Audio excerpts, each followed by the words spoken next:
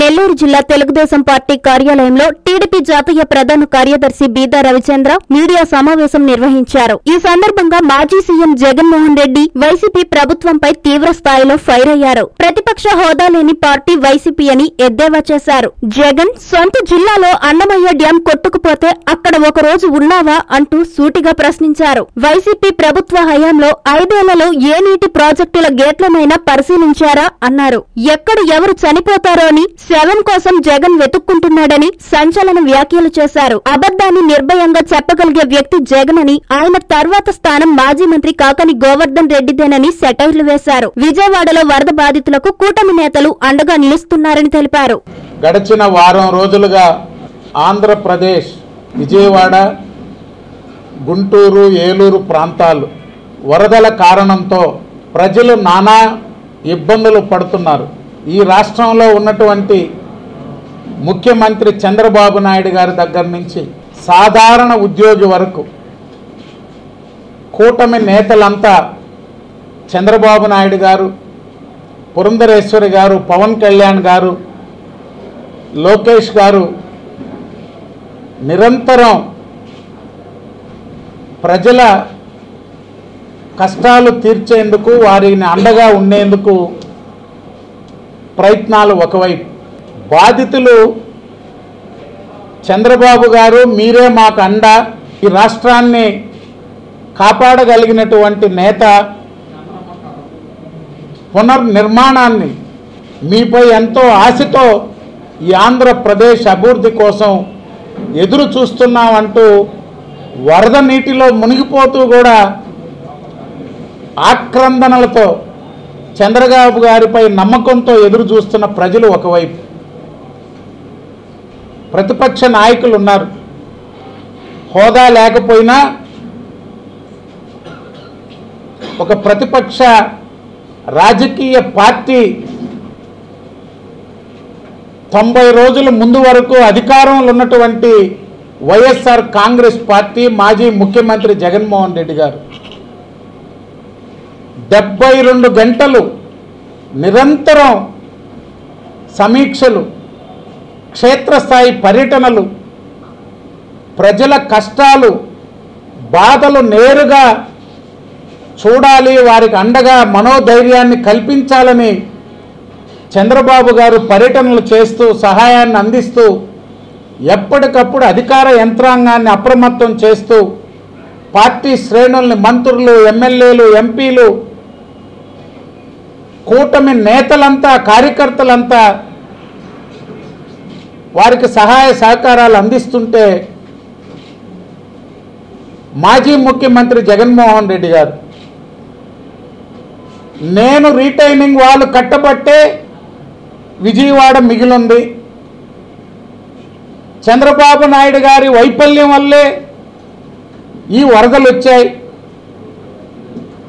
మాట్లాడుతున్నటువంటి జగన్మోహన్ రెడ్డిని చూస్తుంటే ఆశ్చర్యంగా ఉంది ప్రజల కష్టాలు వాళ్ళ బాధలు వాళ్ళ కన్నీళ్ళు తుడిచేదానికి ప్రయత్నం చేస్తే తప్పులేదు ఎవరైనా.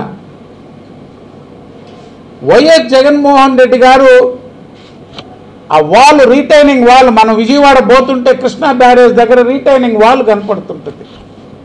దాని ఫోటోలు వేస్తూ దాని ముందు నిలబడి వైఎస్ఆర్సీపీ కార్యకర్తలు వస్తే ఆయనకి అభినందనలు సన్మానాలు సిగ్గు లేకుండా. వాల్ మీరు కట్టారా? కృష్ణా నది వరదకి రక్షిత గోడలు మీరు నిర్మించారా? తెలుగుదేశ ప్రభుత్వం ఫేజ్ వన్ నిర్మాణం పూర్తి చేస్తే రెండు వేల పంతొమ్మిది నుంచి ఇరవై ఒకటి దాకా రెండు సంవత్సరాలు ఒక్క మీటర్ ఒక్క మీటర్ గోడ కట్టినటువంటి పరిస్థితి లేదు. జగన్మోహన్ రెడ్డి గారు దాని మీద అనేక పోరాటాలు చేసి ఉద్యమం నడిపితే అరకొర పనులు పూర్తి చేసిన పరిస్థితి ఈ ప్రభుత్వంలో. ఆయన ఆ గోడల గురించి కూడా బుడమేరు వరద ప్రభుత్వ వైఫల్యం అంట. బుడమేరు పనులు వైఎస్ఆర్సిపి శరవేగంగా పూర్తి చేసిందంట. సిగ్గుండాలి ఏదైనా అబద్ధాలు చెప్పుకునే దానికి కూడా. ఐదు సంవత్సరాల్లో ఒక్క చిన్న పని అక్కడ ఏమన్నా చేశారా అని అడుగుతున్నాం. ఎనభై శాతం పనులు తెలుగుదేశ ప్రభుత్వం చేసింది. ఆయన తండ్రి వైఎస్ రాజశేఖర రెడ్డి గారు ప్రయత్నం చేశారంట. చంద్రబాబు నాయుడు గారు పట్టించుకోలేదంట. రాజశేఖర్ రెడ్డి గారు ఏనాడైనా దాని మీద ఒక లక్ష రూపాయలు ఖర్చు పెట్టినట్లు చూపించగలరా? కాంగ్రెస్ ప్రభుత్వం మీరు ఐదు సంవత్సరాల్లో ఆక్రమణలు మట్టి ఇసుక గ్రావెల్ వ్యాపారం తప్పితే బుడమేరులో ప్రభుత్వ పరంగా మేము ఇది చేశాం అని చెప్పుకునే ధైర్యం మీకుందా అని అడుగుతున్న అబద్ధపు విషపు ప్రచారం తప్పితే. ఈరోజు మళ్ళీ ఒక కథనం వండి వార్చారు. ఏబిఎన్ రాధాకృష్ణ గారికి పవర్ ప్రాజెక్ట్ ఉందంట అక్కడ. ఆ పవర్ ప్రాజెక్టు వల్ల అడ్డంకులు ఏర్పడి వరదలు వచ్చాయంట. ఎప్పుడు వచ్చింది ఆ పవర్ ప్రాజెక్టు? ఎప్పుడు వచ్చింది పంతొమ్మిది వందల తొంభై నాలుగులో జెన్కో ప్రతిపాదించిందని మీ రోత పత్రికలో విషపు రాతలు రాశారు. ఎవరు ప్రభుత్వం అప్పుడు? కాంగ్రెస్ ప్రభుత్వం. తొంభై నాలుగులో పద్నాలుగు వందల కిలోవాట్లు పవర్ ప్లాంట్ అక్కడ ప్రతిపాదన చేసి ప్రభుత్వ అనుమతులు కోరింది ఏ ప్రభుత్వంలో? తెలుగుదేశ ప్రభుత్వంలో చంద్రబాబు నాయుడు గారు అనుమతులు ఇచ్చాడంట. దాంట్లో దాపరికమే ఉంది. ఈ రాష్ట్రం దేశం అంతా హైడల్ ప్రాజెక్టులకి పర్మిషన్లు ఇచ్చారు. అది మెగావాట్లు కాదు. కిలోవాట్లు. రెండు ఐదు వందల కిలోవాట్లకు ఇచ్చారు. తర్వాత దాన్ని రెండు ఏడు వందలు చేశారు. అది మళ్ళీ మీరే రాస్తారు. ఆ తర్వాత అనుమతులు రద్దు చేయాలనుకున్నారంటే ఎందుకు? వైఎస్ రాజశేఖర రెడ్డి జలయజ్ఞం. వైఎస్ రాజశేఖర రెడ్డి భూయజ్ఞం. వైఎస్ రాజశేఖర రెడ్డి జగన్మోహన్ రెడ్డి కుటుంబం. ఐరన్ ఓర్ గనులు గాలి జనార్దన్ రెడ్డితో చేసిన దోపిడీ పోరాటంలో ఏబిఎన్ రాధాకృష్ణ గారిని బెదిరించేదానికి ఎన్ఓసి రద్దు చేయాలనే ప్రయత్నం ముఖ్యమంత్రి చేశారు. ఆనాటి ముఖ్యమంత్రి రాజశేఖర రెడ్డి వారం కల్లా ఆయన మృతి చెందారు. రెండు వేల పద్నాలుగు పంతొమ్మిది పట్టించుకోలేదు అన్నారు మీ పత్రికలో రెండు వేల తొమ్మిదిలో ఇరవై ఐదు లక్షల క్యూసిక్లు వరదొస్తే నియంత్రించారంట. ఇరవై ఐదు లక్షల క్యూసిక్లు ఈ రాష్ట్ర చరిత్రలో స్వాతంత్రం వచ్చాక స్వాతంత్రానికి ముందు కృష్ణా బ్యారేజ్ ఏర్పడ్డాక ఏనాడైనా వచ్చిందా? ఏంది విషపరాతలు? మళ్ళీ ఈయన ప్రయత్నం చేశాడంట దాన్ని అనుభవించి రద్దు చేసేదానికి. నోటికొచ్చినట్లు ఈనాడు పత్రిక ఈనాడు కుటుంబం మీద లేకపోతే ఏబిఎన్ రాధాకృష్ణ గారి మీద ఈ వరదలో సహాయం చేసేది పోయి ఒక రాజకీయ పార్టీగా అండగా ఉండేది పోయి ఒక ఇంజనీర్ చెప్పాడంట బుడమేరికి డెబ్బై డెబ్బై ఐదు వేల క్యూసిక్ల వరద వచ్చిందంట. కానీ నియంత్రించారంట అప్పుడు. కానీ ఇప్పుడు యాభై వేలు కూడా నియంత్రించలేకపోయారంట. ఆ డెబ్బై డెబ్బై ఐదు వేల క్యూసిక్ల వరద రెండు వేల తొమ్మిదిలో వచ్చిందని చెప్తున్నా వైఎస్ఆర్ కాంగ్రెస్ పార్టీ సాక్షి మీడియాను అడుగుతున్నా. రెండు వేల తొమ్మిదిలో ప్లాంట్ ఉందా లేదా అక్కడ? డెబ్బై ఐదు వేల క్యూసిక్లు వరదొచ్చిన రోజు ఇదే ప్లాంట్ అక్కడ ఉందా లేదా? ఈరోజు తెలుగుదేశం ప్రభుత్వం అధికారంలోకి వచ్చాక ఏమన్నా వచ్చిందా ప్లాంట్? ఐదు సంవత్సరాల మీ దోపిడీ బుడమేరుపై మీరు చేసిన ఆక్రమణలు బుడమేరును మీరు విచ్చలవిడి నిర్మాణాలు ఈ యొక్క వరదకి కారణమయ్యి అనే దాన్ని పక్కదారి పట్టించేందుకు ఈరోజు అభూత కల్పనలు. ప్రభుత్వం చంద్రబాబు నాయుడు గారి పరిపాలన మీద విమర్శలు చేస్తున్న జగన్మోహన్ రెడ్డి. సమీక్షలు లేవంట సరైన చర్యలు లేవంట. నిన్నటి రోజున వచ్చిన కేంద్ర వ్యవసాయ శాఖ మంత్రి శివరాజ్ సింగ్ చౌహాన్ గారు.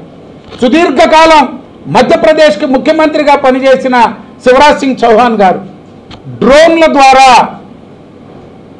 అధికారులు పార్టీ శ్రేణులు స్థానికులు సహాయ సహకారాలు అందించేదానికి వీలుగాని ప్రాంతాలకి డ్రోన్ల ద్వారా ఆహార పంపిణీ చేస్తున్న ఒకే ఒక్కడు చంద్రబాబు నాయుడు గారు మొట్టమొదటిసారి ఈ దేశంలోనే ఇటువంటి కార్యక్రమాన్ని చూస్తున్నానని అభినందించినటువంటి శివరాజ్ సింగ్ చౌహాన్ గారు. మమ్మల్ని అభినందించబల్లే ప్రజల మనోధైర్యాన్ని కోల్పోకుండా వాళ్ళని భయభ్రాంతులకు గురి చేయకుండా ఒక రాజకీయ పార్టీగా ఐదు సంవత్సరాల కాలం అధికారంలో ఉన్నటువంటి మీకు తగదు అని చెప్పి తెలియజేస్తున్నా. ఏం మాట్లాడుతున్నారు మీరు? మీ సొంత జిల్లా రాజంపేట అన్నమయ్య డ్యామ్ నష్టం జరిగితే ఏం చేశారు మీరు? ఒక్క రోజు ఉండగలిగారా అక్కడ? ఒక్క రోజు ఉండగలిగారా? ఇరవై ముప్పై సంవత్సరాలు మీ కుటుంబాన్ని ఆదరించినటువంటి ప్రాంతంలో నష్టం జరిగి మృతి చెందినటువంటి వారిని ఒక్కరిని చూశారా అని అడుగుతున్నాం. ఏందయ్యా నువ్వు డ్యామ్కు పోతే పరదాలు. ప్రజలు చూడకూడదు. పరదాలు కట్టుకొని డ్యామ్ విజిట్కి వెళ్ళాడు ఆయన. ఆయన చంద్రబాబు నాయుడు గారి గురించి మాట్లాడతారు గోదావరి వరదలు రెండు వేల పంతొమ్మిదిలో ఊళ్ళు ఊళ్ళు ఖాళీ అయిపోయినాయి. నూట ఇరవై ఐదు గ్రామాలు ఖాళీ చేసి కొండల గుట్టలు ఎక్కారు ఆదివాసీలు ఇరవై రోజులు ఆహారం అందలా పట్టించుకున్న నాదుడు లేడు. జగన్మోహన్ రెడ్డి ఎప్పుడు పోయాడు? ఆ గోదావరి వరదలు వస్తే పంతొమ్మిది రోజుల తర్వాత పోయాడు. పంతొమ్మిది రోజుల తర్వాత. తెలుగుదేశం పార్టీ రెండో రోజు స్పందించి వాళ్ళకి ఆహారం నీళ్ళు సరఫరా చేస్తే విమర్శించిన ముఖ్యమంత్రి జగన్మోహన్ రెడ్డి గారు. ఈరోజు తెలుగుదేశం పార్టీ జనసేన భారతీయ జనతా పార్టీ ఒక విపత్తు సంభవించింది. ప్రజలకు అండగా నిలవాలనే ప్రయత్నం చేస్తుంటే ప్రతిదానికి విమర్శలే. అడ్డగోలు రాతలు విషపు ప్రచారం సోషల్ మీడియా ఎక్కడో ఈ దేశం కాని దేశంలో జరిగిన వరద విపత్తును తెచ్చి విజయవాడ ఫేక్ ఫోటోలు పెడతారు. చంద్రబాబు నాయుడు గారు ఇల్లు మునిగిపోద్దని గేట్లు ఎత్తేసారని చెప్తారు. ఇంకొక రోజేమో గేట్లు ఎత్తలేదు కాబట్టి వరద వచ్చిందంటారు. అసలు ఈ మీ నోటికి ఏదొస్తే అది. ప్రజల్ని గందరగోళపరిచేదానికి చేస్తున్నటువంటి ప్రయత్నం. మీలాగా జగన్మోహన్ రెడ్డి గారు ప్రభుత్వంలో ట్రాక్టర్లు దేనికి వాడారు? తొక్కిచ్చేదానికి వాడారు. ట్రాక్టర్లతో తొక్కిచ్చి చంపిన ప్రభుత్వం వైఎస్ఆర్ కాంగ్రెస్ పార్టీ ప్రభుత్వం. పోలీస్ డిపార్ట్మెంట్ పనేంది ఐదు సంవత్సరాలు తెలుగుదేశం పార్టీని ప్రతిపక్ష పార్టీల్ని వేధించడం అరెస్టులు చేయించడం ఐదు సంవత్సరాలు సరిపోయింది వాళ్ళకి డిపార్ట్మెంటు. మర్చిపోయారు మాన్యువల్లే. ఈరోజు బాధితుల్ని చంటి బిడ్డల్ని కాపాడేదానికి ప్రజల్ని కాపాడేదానికి పనిచేస్తున్నటువంటి పరిస్థితి. ఈరోజు కూడా గోడలు దూకుతున్నారు పోలీసులు గత వారం నుంచి. దేనికి దూకుతున్నారు? జగన్మోహన్ రెడ్డి ప్రభుత్వంలో కూడా గోడలు దూకిచ్చాడు. నాయకులను అరెస్ట్ చేసేదానికి నాయకులను ఎత్తుకోబోయేదానికి సినిమా హీరోయిన్లు ఎత్తుకొని వచ్చేదానికి సినిమా హీరోయిన్లు దాచిపెట్టి వేధించేదానికి. ఈరోజు మిద్దిలు మేడలు ఎక్కి ప్రజలను కాపాడేదానికి పనిచేస్తున్నారు. జగన్మోహన్ రెడ్డి గేట్ల గురించి మాట్లాడాడు నిన్న. ఒక్క గేటు ఈ రాష్ట్రంలో ఐదు సంవత్సరాల కాలంలో ఏ ప్రాజెక్ట్ అయినా ఏ ప్రాజెక్ట్ అయినా అది శ్రీశైలం అయినా లేక మన సోమశిలైనా హెచ్ఎన్ఎస్ఎస్ అయినా జిఎన్ఎస్ఎస్ అయినా వంశధారైనా ఎక్కడ ఏం తీసుకున్నా ఒక్క దగ్గర గేటు నిర్మాణం చేసిన పరిస్థితి ఉందా ప్రభుత్వంలో అడుగుతున్నాం. ఆయన కూడా గేట్ల గురించి మాట్లాడుతున్నాడు. ఆయన ఒకటే పనిలో ఉన్నాడు. నిరంతరం చంద్రబాబు నాయుడు గారు లోకేష్ గారు పవన్ కళ్యాణ్ గారు ప్రభుత్వంలో ఒక్కరు కూడా చనిపోకూడదని కష్టపడుతూ నిరంతరం పర్యవేక్షిస్తున్నారు. జగన్మోహన్ రెడ్డి గారు ఏం చేస్తున్నారు? ఎవరు చావలా? ఎక్కడ ఏం జరగలా? శవం దొరకట్లా? నేను రావాలా? శవాలు ఎక్కడ దొరకతాయా అని ఎతుక్కుంటున్న మాజీ ముఖ్యమంత్రి జగన్ మేము ఒకటే చెప్తున్నాం తొంభై రోజులైంది. కూటమి ఆదరించి ప్రజలు అనేక కష్టాలు చూస్తుంది ప్రభుత్వం. వ్యవస్థలను విధ్వంసం చేసి అరాచక అసమర్థ అవినీతి పాలనతో ఈ రాష్ట్రాన్ని సర్వనాశనం చేసినటువంటి జగన్మోహన్ రెడ్డి వైఎస్ఆర్ కాంగ్రెస్ పార్టీ. వచ్చినాయి. సమస్యలు వచ్చినాయి. క్రైసిస్ మేనేజ్మెంట్కి దేశంలోనే ఒక రోల్ మోడల్ చంద్రబాబు నాయుడు గారు. అది హుదూ తుఫాన్ అయినా ఈనాడు వచ్చినటువంటి వరదైనా ఏ సమస్య వచ్చినా ధైర్యంగా ఎదుర్కొని ప్రజల్లో ఉండి వాళ్ళ కష్టాలు తీర్చడంలో అండగా ఉండే ముఖ్యమంత్రి చంద్రబాబు నాయుడు గారు. మీరేందని మాట్లాడేది? ఒక్కరోజు ఒక్కరోజు ఐదు సంవత్సరాల కాలంలో సాయంత్రం ఐదు గంటల తర్వాత ప్రజల్లోకి ఏ సమస్య అయినా వస్తే వచ్చాడా జగన్మోహన్ రెడ్డి? ఎక్కడ ఏ సమస్య? ఎంతమంది చనిపోయినా అది వరదైనా లేక ఎక్కడైనా దుర్మరణం పాలైనా లేక ఏ సమస్య వచ్చినా నేరుగా ప్రజల్లోకి వచ్చిన పరిస్థితి ఉందా జగన్మోహన్ రెడ్డి గారికి? ఐదు రోజుల నుంచి ప్రజల్లో ఉన్నాడు చంద్రబాబు నాయుడు గారు. మంత్రులు లోకేష్ బాబు దగ్గర నుంచి మొత్తం మంత్రులందరూ బురదలో తిరుగుతూ ప్రజలకి ధైర్యాన్ని కల్పిస్తూ సహాయం అందిస్తున్నారు. ఒక్కరోజు ప్రజల్లోకి రాని ఆనాటి ముఖ్యమంత్రి జగన్మోహన్ రెడ్డి తెలుగుదేశం పార్టీని ఈ ప్రభుత్వాన్ని చంద్రబాబు నాయుడు గారిని విమర్శించే ముందు మేము ఛాలెంజ్ చేస్తున్నాం. ఐదు సంవత్సరాల కాలంలో ముఖ్యమంత్రిగా జగన్మోహన్ రెడ్డి గారి ఏ విధంగా స్పందించాడో చెప్పేదానికి మేము సిద్ధం. మీకు చెప్పుకునే అర్హత ఉందా అని అడుగుతున్నాం. ఇక్కడ ఉన్నాడు మాజీ మంత్రి కాకాని గోవర్ధన్ రెడ్డి గారు. అసలు జగన్మోహన్ రెడ్డి కంటే డబుల్ ఈయన. ఒక అబద్ధాన్ని ఎంత నిర్భయంగా చెప్తాడంటే ఆయన ఎదుటోడికి ఇంకా వన్ పర్సెంట్ కూడా అనుమానం రాకుండా చెప్తాడు ఆయన. ప్రతిరోజు విమర్శలే. ప్రతిరోజు విమర్శలే. ఆయన ఏం చెప్పాలో చెప్పేయడమే ఈయన కూడా రాష్ట్రంలో ఆయన జిల్లాలో ఈయన. మీ ప్రభుత్వ హయాంలో చేసినవన్నీ రోజుకొకటి వస్తున్నాయి. రోజుకో కుంభకోణం బయటకు వస్తుంది.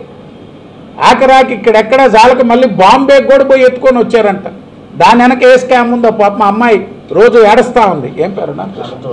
నత్వానే. జత్వాని. అసలు ఆశ్చర్యంగా ఉంది ఆమె చెప్పే చెప్తుంటే.